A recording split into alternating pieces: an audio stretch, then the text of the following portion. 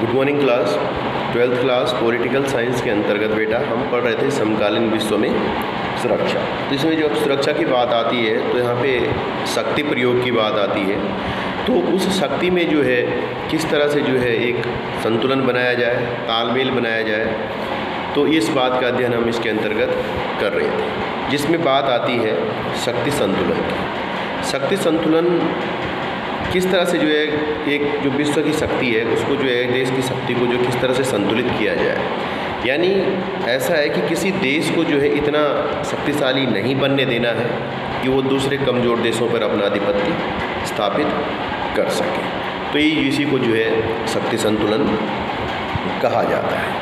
तो शक्ति संतुलन जो है एक जिसका जो सिद्धांत है, एक विशेष स्थिति का ज्ञान कराता है देखो, जिस प्रकार हमें जो है तापमान से जो है ठंड, गर्म का पता चलता है, उसी प्रकार से शक्ति संतुलन की शक्ति, जो शक्ति संतुलन है, वो जो है असंतुलित शक्ति का ज्ञान कराता है।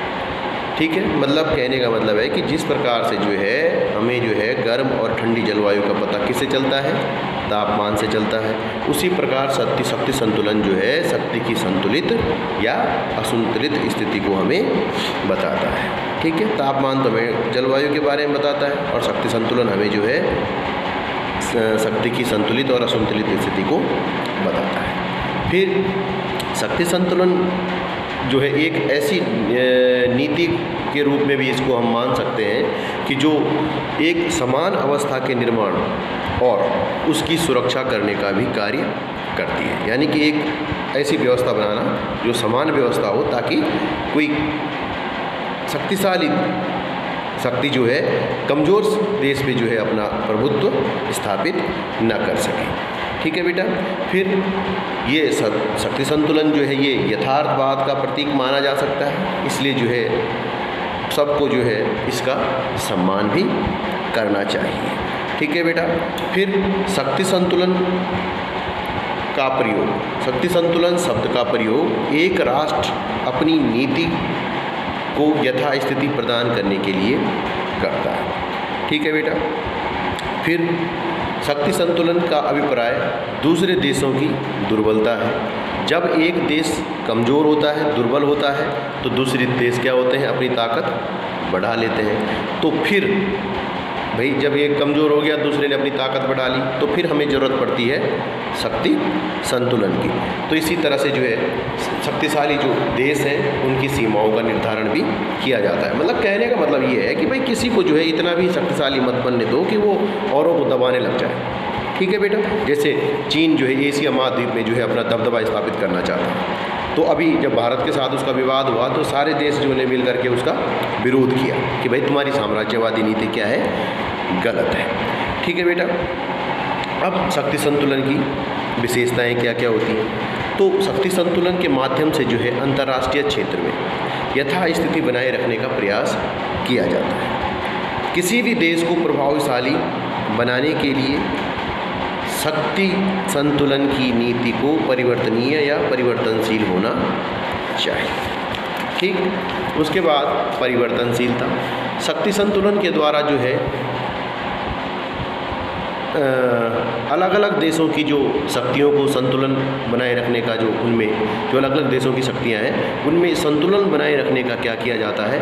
प्रयास किया जाता है। शक्ति संतुलन की स्थिति परिवर्तित होती रहती है और उसका अर्थ असंतुलन में निहित होता है। ठीक है बेटा, फिर कसौटी के रूप में युद्ध होता है शक्ति संतुलन की। युद्ध शक्ति संतुलन का अंत कर देता है और युद्ध के बाद नए शक्ति संतुलन की स्थापना की जाती है। ठीक?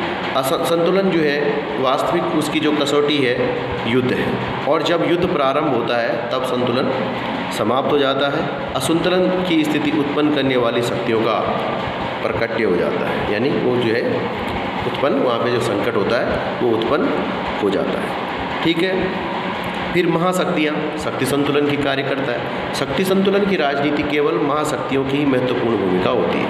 ये महाशक्तियाँ जो हैं, इसमें महत्वपूर्ण भूमिका निभाती हैं। ठीक है बेटा? शक्ति संतुलन में जो है, महाशक्तियाँ ही जो है, कार्यकर्ता होती हैं और छोटे देश या तो दर्शक होते हैं उसमें या फिर उनके शिकार होते हैं। यानी कहने का मतलब है, जिनके पास शक्ति है, वो छोटे देशों को वैसे भी जो है, उनकी कहाँ वैल्यू होती है?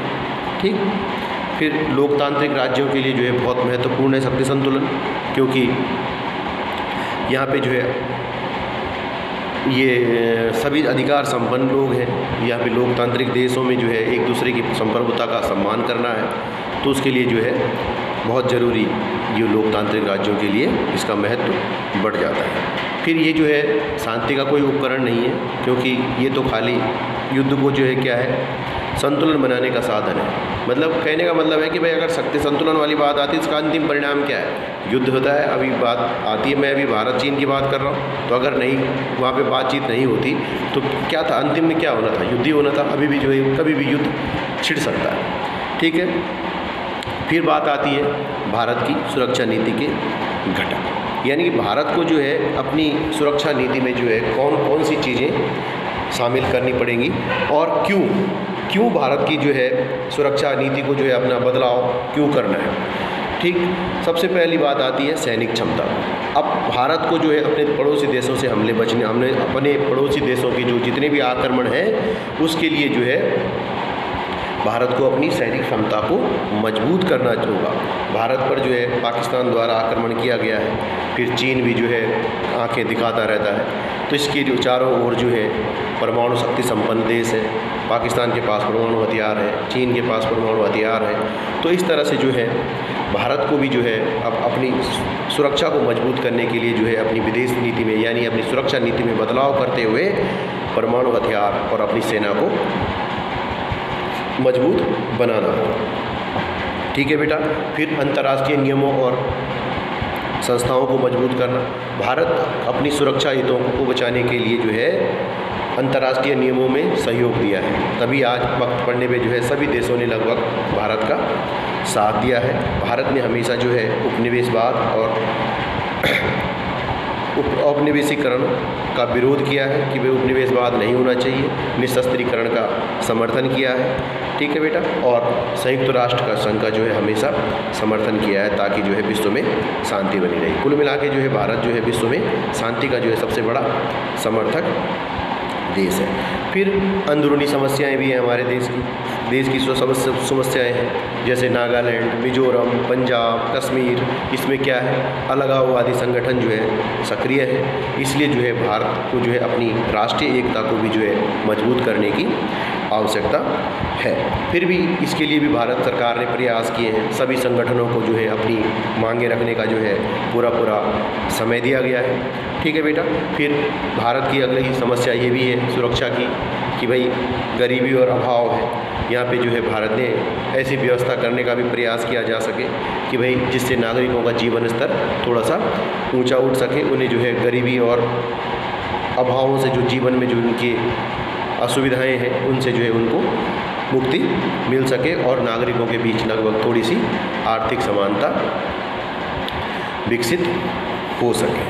ठीक? आज के लिए इतना ही है और इसके बाद बात आती है बेटा। जैसे भारत निशस्त्रीकरण वाली बात आती है। निशस्त्रीकरण का मतलब ये मान लो आप कि जैसे घातक श्रेणी के जो हथियार हैं, उनका निर्माण नहीं करना है। यानी कि जो परमाणु शक्ति का प्रयोग है, उसका प्रयोग जो है, सैन्य शक्ति के लिए जो है, बिल्कुल भी नहीं करना है। इसके लिए जो है, निशस्त्रीकरण की जो राह है, वो सबसे अच्छा जो मार्ग है, वो निशस्त्रीकरण का ही है, जिससे जो है, विश्व में शक्ति संतुलन की स्थापना की भी जा सकती है। क्योंकि अगर हथियार बनाए जाएँगे, फिर हथियारों की होड़ शुरू हो जाती है। माना फिर हथियार तो बनाए जा रहे हैं, लेकिन ऐसे हथियार बनाए जा रहे हैं कि जिससे जो है मानव सभ्यता को ही जो है खतरा उत्पन्न हो गया है। ठीक है बेटा? फिर इस तरह से परमाणु शक्ति की बात जहाँ तक है कि भारत तो एक परमाणु शक्ति को शांतिपूर्ण प्रयोग करने की में जो है विश्वास रखता है। हमेशा भारत ने जो है अपनी परमाणु नीति में साफ़ कहा है कि भाई, हम तब तक किसी भी देश पे जो है परमाणु हमला नहीं करेंगे, जब तक उसने हमारे ऊपर परमाणु हथियारों से हमला नहीं किया। मतलब कहते हैं कि भाई, सीधी सी बात है कि अगर कोई हम पे परमाणु हमले से हमला करता है तो भारत उसके खिलाफ परमाणु शक्ति का प्रयोग करेगा, नहीं तो भारत अपनी परमाणु शक्ति का प्रयोग बिल्कुल भी पहले नहीं करेगा। ठीक है बेटा? अब इसमें जो है मानवाधिकार वाली बात आती है। मनुष्यों के जो है अधिकारों से संबंधित है। इसकी स्थापना जो है 1948 दिसंबर 1948 में जो है मानवाधिकार आयोग की स्थापना की गई है। ठीक है बेटा? इसमें जो है इसका 10 दिसंबर 1948 का जो है बड़ा ऐतिहासिक महत्व भी है।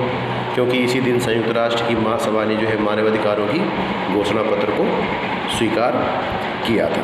ठीक है बेटा, जैसे मानवाधिकार कौन कौन से होते हैं? जीवन की सुरक्षा और स्वतंत्रता का अधिकार होता है। फिर दासता और बंधुआ मजदूरी से मुक्ति, यानी कि बंधुआ मजदूरी और किसी के दास से स्वतंत्रता का जो है अधिकार होता है, उनको मतलब किसी ही किसी को बंधुआ और बंधुआ मजदूरी किसी से नहीं करा सकता है। यानी कि उसके जो जितना भी श्रम है, उसके बदले उसका पूरा पारिश्रमिक उसे मिलना चाहिए। फिर न्यायपालिका से जो है हमें न्याय प्राप्त करने का भी एक अधिकार है, ये भी हमारा मानवाधिकारों के अंतर्गत आता है। फिर जो है विवाह करना और पारिवारिक जीवन जीने का अधिकार भी है हमें, और कहीं भी आने जाने और घूमने फिरने का ये अधिकार है। ये पाँच मानवाधिकार फ़िलहाल यहाँ पे है, जीवन रक्षा का और स्वतंत्रता का अधिकार है। बंधुआ मजदूरी से मुक्ति का अधिकार है। न्यायपालिका से न्याय प्राप्त करने का अधिकार है। ठीक है बेटा, विवाह करके परिवार बसाने का अधिकार है और कहीं भी आने जाने की स्वतंत्रता का अधिकार है। आज के लिए इतना ही है। बाकी कल।